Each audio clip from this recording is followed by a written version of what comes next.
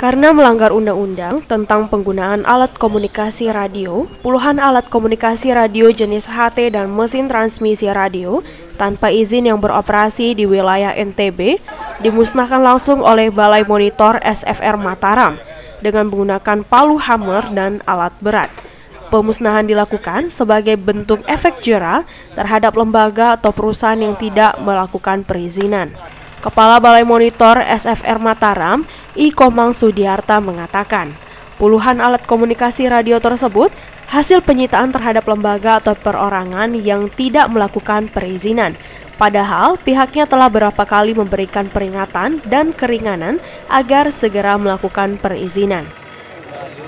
Ini pun proses yang dilakukan bertahap, itu dari proses pembinaan awalnya kita melakukan pemberian kesempatan kepada yang bersangkutan untuk pengurusan izin, pada akhirnya tidak terpenuhi semua.